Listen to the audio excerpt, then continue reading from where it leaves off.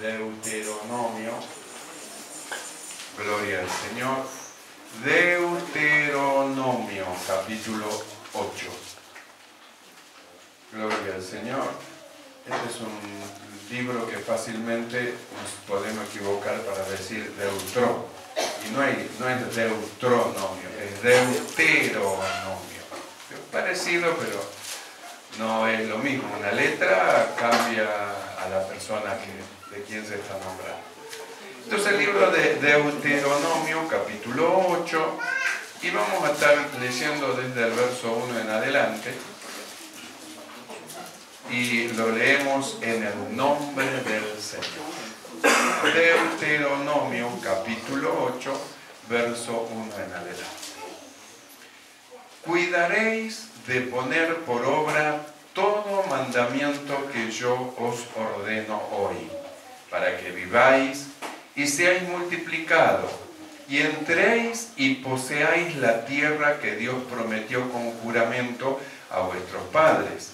Y te acordarás de todo el camino por donde te ha traído tu Dios estos 40 años en el desierto, para afligirte, para probarte, para saber lo que había en tu corazón, si habías de guardar o no sus mandamientos, y te afligió, y te hizo tener hambre, y te sustentó con maná, comida que no conocías tú, ni tus padres las habían conocido, para hacerte saber que no solo de pan vivirá el hombre, mas de todo lo que sale de la boca de Dios vivirá el. Oramos. Amado Señor, te damos gracias. Muchas gracias, Señor, por tu bondad, tu amor para con nosotros. Gracias, Señor, por tu presencia, tu presencia que llena nuestro corazón, llena nuestra mente. Nuestros pensamientos, Señor, rogamos que el poder de tu Espíritu en esta noche inunde nuestro ser, Señor, en plenitud. Haz que nuestra mente se abra para comprender, para entender, Señor, tu perfecta voluntad y que nos ayude, Señor, a llevar a cabo todos tus planes y todos tus propósitos, mi amado Señor. Te pedimos envía tu palabra en el poder de tu Espíritu Santo, llenando nuestros corazones, mi amado Señor. Muchas gracias, Padre. Gracias te damos por este tu grande amor en el nombre de Jesucristo. Amén. Y amén. Tomamos así. Gloria al Señor. Deuteronomio capítulo 8, desde el verso 1 en adelante. Hay un pasaje muy, muy hermoso que es el verso 3 donde nosotros hemos leído, donde dice, para hacerte saber que no solo de pan vivirá el hombre. Entonces, ¿por qué es que el Señor le dice a su pueblo, no solo de pan vivirá el hombre? A causa del diseño del hombre. ¿Quién formó al hombre? Dios. ¿Para qué lo creó al hombre y lo puso en el huerto del Edén? Justamente para que se enseñoree de todas las cosas que le había dado y para que tenga comunión con él.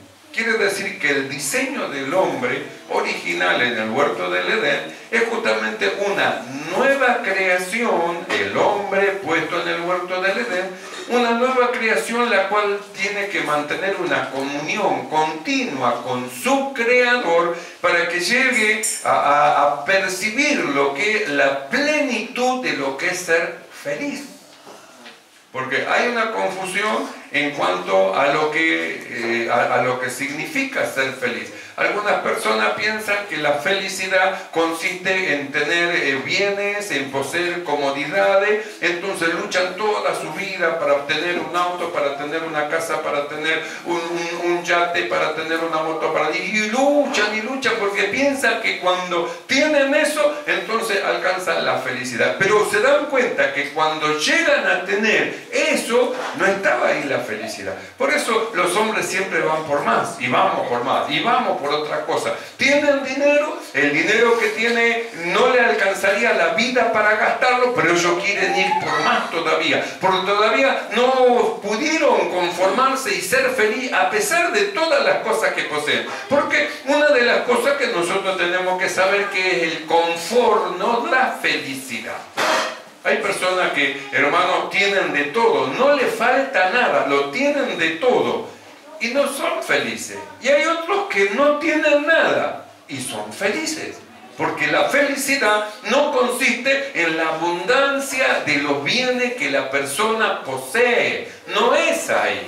La perfecta voluntad, la perfecta felicidad nunca la va a alcanzar el hombre apartado de Dios. Porque el hombre es una creación de Dios, un diseño de Dios, un diseño hecho justamente para que ande con Dios y andando con Dios sea feliz andando con Dios, el hombre pueda llegar, hermano, a ser feliz. Entonces, el hombre se embarca, como no encuentra la felicidad, en búsqueda de cosas humanas, es decir, de, alegría pasajera, se pone contento, compré esto, lo muestra, pero ¿cuánto dura esa alegría? Un rato, después ya se le pasó, se da cuenta que no era eso lo que él necesitaba, que está buscando otra cosa y nunca lo, va a poder encontrar lejos de Dios, lejos de Dios. Felicidad empieza con fe, empieza con fe. Quiere decir que para que el hombre pueda llegar a amar la vida, pueda llegar a amar la vida, entonces tiene que aprender, hermano, a amar a Dios. La escritura, hermano, dice bien, bien clarito, el que quiera amar la vida. Quiere decir que hay personas que al no encontrar la felicidad no aman la vida. Por eso es que hay personas que se quitan la vida. Y usted dice, ¿cómo puede ser que esta persona que tenía tanto dinero, tanto bienes, cómo que se suicidó si lo tenía todo, auto, lujo? Porque tenía todo y no tenía nada. No era feliz. Nunca va a ser la persona lejos de Dios, feliz. ¿Por qué? Porque justamente el hombre es una creación de Dios para que se sienta completo, perfecto, lleno, en felicidad, necesita a Dios. Y no siempre va a tener un vacío dentro de su corazón que nunca lo va a poder llenar con nada. Se irá detrás de la droga, se da cuenta que cuando entra en la plenitud de la droga, ahí no está la felicidad. Se, se va detrás del alcohol, se da cuenta que detrás del alcohol ahí no está la felicidad. Se va detrás de los hombres, se da cuenta que no está la felicidad. Detrás de la mujer y está buscando dónde está la felicidad. Lejos de Dios, nunca el hombre va a poder llegar a ser feliz. Porque el hombre es una creación de Dios. Dios lo creó. Está formado de una manera que la forma de que el hombre alcance la plenitud de su felicidad es cerca de Dios. Cerca de Dios. Usted mira en el huerto del Edén y usted ve en el huerto del Edén un hombre que tenía en su corazón alegría, tenía su mujer, hermano, tenía los animales alrededor, tenía comunión con Dios, no le faltaba nada. Cuando el hombre perdió su felicidad, cuando perdió la comunión con Dios. Cuando el hombre pierde la comunión con Dios, entonces pierde la paz, pierde la paz, pierde la alegría, pierde la felicidad. Y nosotros hemos sido introducidos en un reino, el reino de Dios, justamente para que nosotros alcancemos la felicidad. Para eso hemos sido introducidos en el reino de Dios. Dios nos llamó, nos introdujo dentro del reino para que nosotros lo alcancemos, lo logremos. Lo leemos de vuelta este pasaje de Deuteronomio capítulo 8. Dice así. Cuidaréis de poner por obra todo mandamiento que yo os ordeno hoy, para que viváis y seáis multiplicado, y entráis y entréis y poseáis la tierra que Dios prometió con juramento a vuestros padres y te acordarás de todo el camino por donde te ha traído tu Dios estos 40 años en el desierto, para afligirte, para probarte, para saber lo que había en tu corazón, si habías de guardar o no sus mandamientos.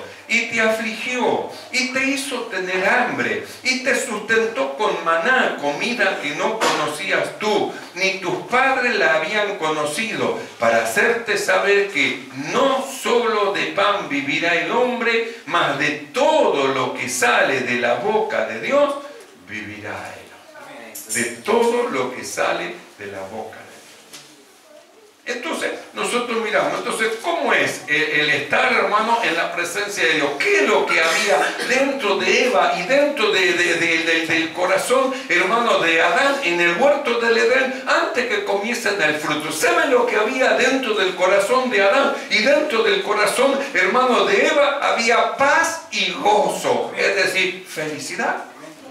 Eran felices, era un matrimonio feliz él era eh, feliz con su esposa y con Dios. Ella era feliz con su esposo y con Dios. Entonces, ¿cómo se sentía? Completo. No le faltaba nada, estaban completos. Quiere decir, hermano, que en su corazón había paz. Había paz con su esposa, había paz con Dios. Es decir, había paz con todos los animales y había gozo. El gozo de estar con su esposa y el gozo de tener a Dios iluminándole, aclarándole, enseñándole en todas las cosas. Paz y gozo. Eso es el reino de Dios.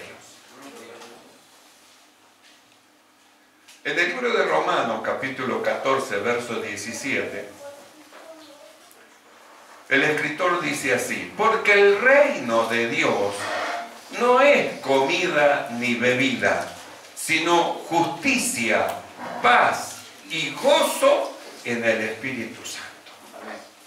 Entonces, ¿qué dice que es el reino de Dios? Primeramente dice justicia, habla de lo que se hace. Y paz y gozo es el resultado de lo que se hace es el resultado. Entonces dice, el reino de Dios, dice, no es comida. Quiere decir que por más que yo tenga la heladera llena, el plato lleno, los bolsillos llenos, eh, eso no me va a dar lo que yo necesito, paz y gozo. Porque el reino de Dios no es eso, tener la pancita llena, tener comida, listo, esto es el reino de Dios. El reino de Dios no tiene nada que ver con lo terrenal, con lo humano. El reino de Dios tiene que ver con la justicia de Dios y tiene que ver con lo que se siente dentro del corazón caminando con Dios. Usted observe la Biblia que dice, hermano, que, que, aquel Enoch caminó con Dios. ¿Cómo sentiría? ¿Qué sentiría Enoch dentro de su corazón caminando con Dios? Paz y gozo paz. Por eso es que dice, porque el reino de Dios no es comida, no es lo que comimos. Si tenemos, estamos en el reino de Dios. Y si no tenemos para comer, entonces estamos fuera del reino de Dios. El reino de Dios no tiene nada que ver con que si comemos o no comemos, si tenemos que vestirnos o no tenemos que, que ponernos. No tiene nada que ver con eso el reino de Dios. El reino de Dios dice, es justicia. ¿Y qué es la justicia? La justicia de Dios es la palabra de Dios, la palabra la palabra, lo que sale de la boca de Dios, eso es justicia, lo que Dios habla a nosotros, hermano, y nos enseña y nos ilumina. Por eso nosotros hemos leído, cuidaréis de poner por obra, dice, los mandamientos que yo os ordeno hoy. Quiere decir la justicia, la palabra que sale de la boca de Dios para nosotros, que nos instruye, para que nosotros vivamos feliz en Dios. Amén para que sea una familia feliz, un matrimonio feliz, un marido feliz, una mujer feliz, hijos felices. Entonces, ¿qué es el reino de Dios? No es comida ni es bebida. El reino de Dios es justicia. Entonces se trata de lo que nosotros hagamos. Porque lo que nosotros hagamos va a producir algo. ¿Qué va a producir? Paz y gozo. ¿Y qué es lo que nosotros tenemos que hacer? Justamente lo que Dios nos ordena que llevemos a cabo. ¿Por qué algunos no se sienten tranquilos, están intranquilos? Porque Dios dice una cosa que se deba de hacer y no la hacen. Entonces tienen intranquilidad en su corazón, no se sienten bien, no son felices.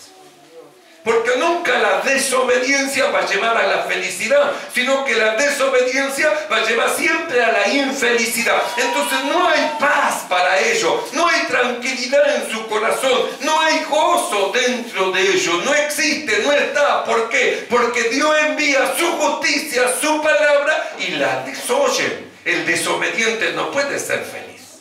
Yo quiero ser feliz. No va a ser feliz nunca desobedeciendo a Dios. Nunca lo va a lograr.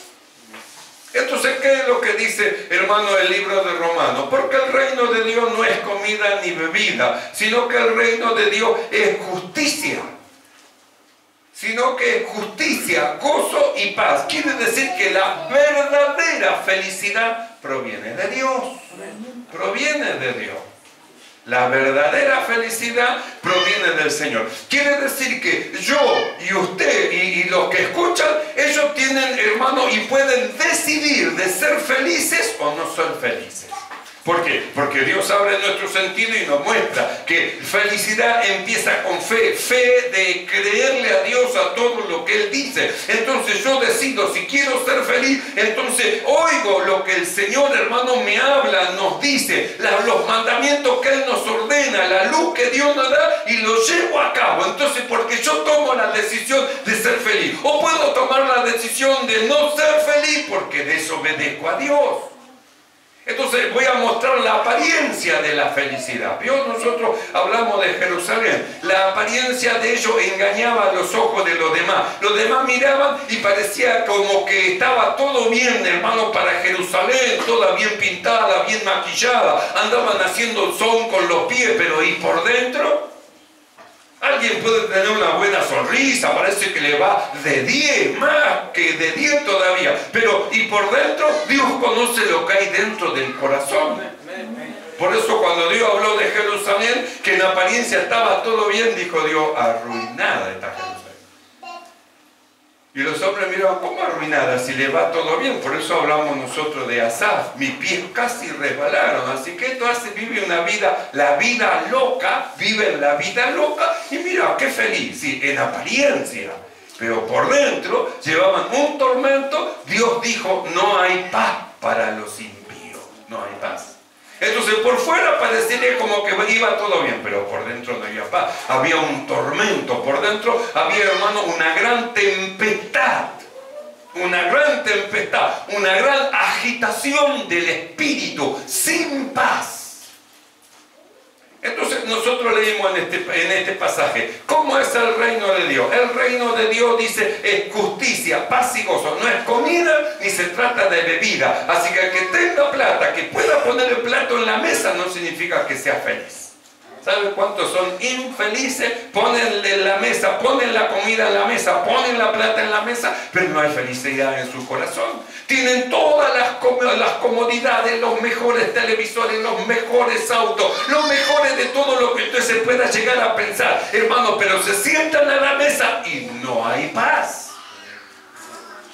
Dice el proverbio, es mejor comer solo en un rinconcito que sentarse en una mesa, dice, con hombre o mujeres rencilloso, que no puede comer un bocado de paz porque siempre hay riña, pelea, no hay paz, no hay paz. Entonces dice, el reino de Dios no es comida. Quiere decir que nosotros tenemos que entender que no porque nosotros tengamos que comer, hermanos, vamos a sentirnos felices. No, necesitamos. Son cosas que nosotros necesitamos. Pero la felicidad, hermano, no consiste en lo que comemos, no consiste en lo que nos vestimos, sino que la felicidad es algo que se siente, que se lleva, una paz que usted siente, que tiene paz con Dios y un gozo espiritual de saber que está caminando con Dios camina con Dios. Que la presencia de Dios está con usted. Que donde va usted sabe que Dios lo está guiando, lo está iluminando. Entonces hay un regocijo espiritual interior que el otro, el otro impío que no se obedece a Dios no lo puede alcanzar. Quiere, pero no puede. Y nunca lo va a lograr. Entonces llegan a un punto que se quitan la vida, no aman la vida. Entonces usted habla con ellos y dice, ¿para qué quiero vivir? La vida no tiene sentido para mí. Mira, tengo de todo, tengo, pero la vida no tiene sentido y se quitan la vida. Nosotros leemos en, en la carta de Pedro, primera de Pedro, capítulo 3, verso 10 en adelante, dice lo siguiente, porque el que quiere amar la vida, entonces, quiere decir que querer amar la vida es como querer ser feliz. El que quiere amar la vida, quiere decir que si, si, yo, si, si, si, yo, hermano, tomo una decisión, puedo querer o puedo no querer amar la vida. Si yo tomo una decisión, puedo querer ser feliz o puedo no querer ser feliz. Seguir siendo infeliz. Yo decido. El, el escritor Pedro dice, porque el que quiere amar la vida y quiere días buenos, empieza a decir, refrene su lengua de mal, sus labios no hablen engaño, apártese del mal y hagan el bien, busquen la paz y síganla. ¿Con qué tiene referencia eso? Con la voluntad de Dios. El que quiere amar la vida, mire qué es lo que dice Dios que debemos de hacer. El que quiere amar la vida, mire la palabra de Dios, porque el hombre no solo de pan va a vivir, sino que va a vivir de toda la palabra que sale de la boca de Dios. Quiere decir que a mí los bienes o a usted no lo van a hacer feliz. No piense que me saco la, la lotería, qué feliz que voy a ser. No va a ser feliz. La felicidad no consiste en los bienes que posee, en la abundancia de los bienes que posee. Ahí no está la felicidad. Parece como que está, parece como que lo va a alcanzar. Ahí no está la felicidad. Parece que si tiene toda la comodidad va a ser feliz, va a tener comodidad, pero no felicidad. Felicidad empieza con fe, fe de creerle a Dios lo que Dios dice. Dios diseñó, formó, hizo al hombre hermano, y dentro de él hay un lugar que le pertenece a Dios. Si este lugar está vacío, nunca podrá ser feliz. Tendrá una felicidad pasajera, pero no la verdadera felicidad que proviene de Dios. Nunca va a alcanzar esa verdadera felicidad. Entonces dice, el que quiere amar la vida, el que quiere, el que quiere amar la vida y ver días buenos. Entonces nosotros tenemos que pensar, ¿yo quiero ser feliz o no? Porque la vida que yo llevo es una vida insulsa, insabrida, de, desabrida. ¿Vio cuando usted come la comida como que no tiene sal y, está a dieta y es sin sal y parece como que, ¿qué está comiendo? Nada, porque no tiene gusto. Bueno, para algunos la vida es así, parece como que la vida no tiene gusto, es desabrida y al final no sé para qué vivo. Bueno, justamente, hermanos, nosotros tenemos que entender que si nosotros queremos amar la, amar la vida y ver día bueno, debemos oír a Dios. Debemos oír a Dios.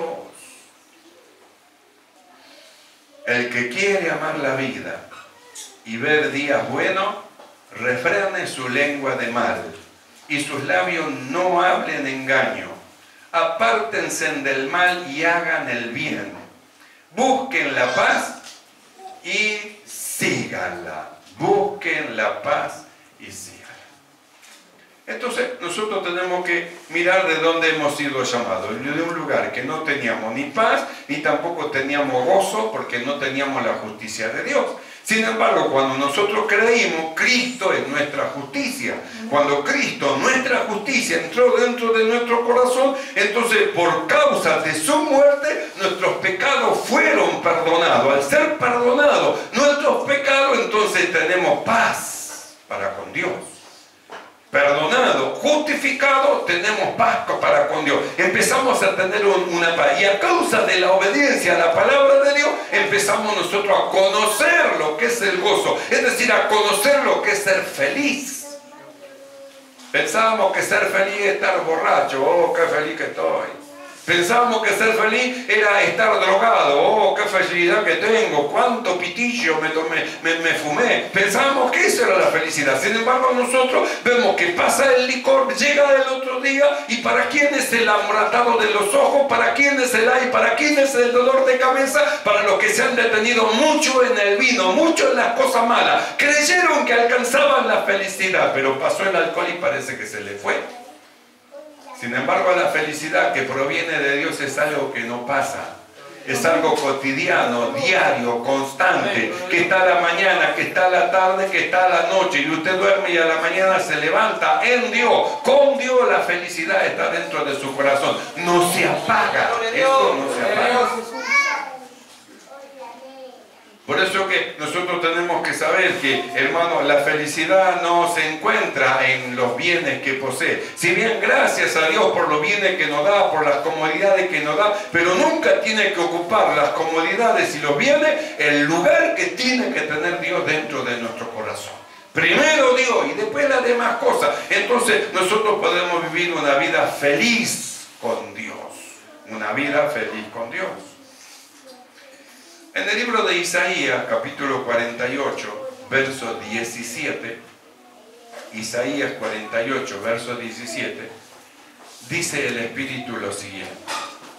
Así ha dicho el Señor, redentor tuyo, el Santo de Israel. Yo soy Dios, el Dios tuyo, que te enseña provechosamente, que te camina por el camino que debes seguir. Yo soy Dios que te enseña provechosamente y que te encamina por el camino que debes seguir. Esto significa que nosotros no estamos sin dirección, usted no está sin dirección.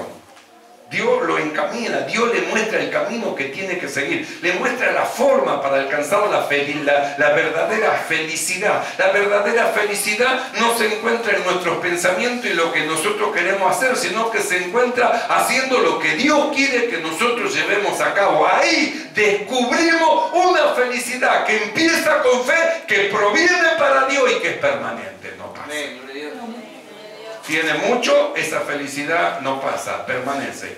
Tiene poco, no tiene nada, esa felicidad no pasa, permanece, tiene a Dios dentro de su corazón. La verdadera felicidad. Por eso cuando nosotros leemos el verso 18 de este capítulo 48 de Isaías, vamos a ver un lamento a causa de la desobediencia. Porque la voluntad de Dios para con Adán en el huerto del Edén era que sea feliz. Él fue infeliz por desobedecer a Dios, hermano, y el pecado entró en el mundo. Pero la voluntad de Dios era en el huerto del, Edén la felicidad del hombre obedeciendo y caminando delante de Él. Nosotros ahora hemos sido rescatados de nuestra vana manera de vivir y Dios nos volvió de vuelta a su redil, a su presencia y ahora Él es el que a nosotros nos encamina por el camino que tenemos tenemos que seguir para que nosotros disfrutemos de la verdadera felicidad que proviene de Dios. La desobediencia va a ver que lleva a otro lado. El verso 18, el verso 18 es como un lamento a causa del que desobedeció. Dice así Isaías 48, 18. O si hubieras atendido a mis mandamientos, fuera entonces tu paz como un río y tu justicia como las ondas del mar. Fuera como la arena tu descendencia y los renuevos de tus entrañas como los granos de arena. Nunca su nombre sería cortado ni raído de mi presencia. Oh, si hubieras atendido a mis mandamientos, lo que serías ahora. Si hubieras atendido a mi mandamiento, el lugar donde estaría, lo que poseería, si hubieras atendido a mi mandamiento. Entonces es como un lamento, oh, si hubieras atendido. Pero no por eso nos tenemos que poner tristes, porque Dios es un Dios misericordioso que nos vuelve a llamar, que si nosotros desatendimos los mandamientos del Señor y no alcanzamos a tener una paz como un río y nuestra justicia como una onda de la mar, si no pudimos ser como la arena de la, de, la mar y todas esas bendiciones, Dios siempre nos da la oportunidad de volver a empezar, de volver a empezar. Por eso dijimos, hermano, que la felicidad es una decisión personal.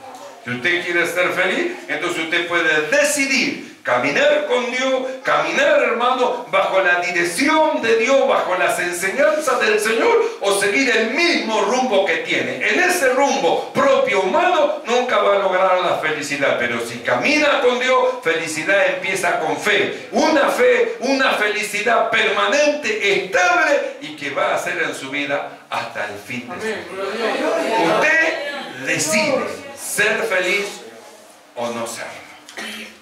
Él pone su camino delante de usted. Pone su camino delante de nosotros. Y nosotros tomamos la decisión. Él ya nos hizo saber una cosa. Que el hombre no solo de pan vivirá, sino de toda palabra que sale de la boca de Dios. Amén, hermanos. Oramos delante del Señor. Amado Dios. Alabamos tu nombre, te ensalzamos y te damos gracias. Muchas gracias, Señor, por tu bondad, por tu amor para con nosotros.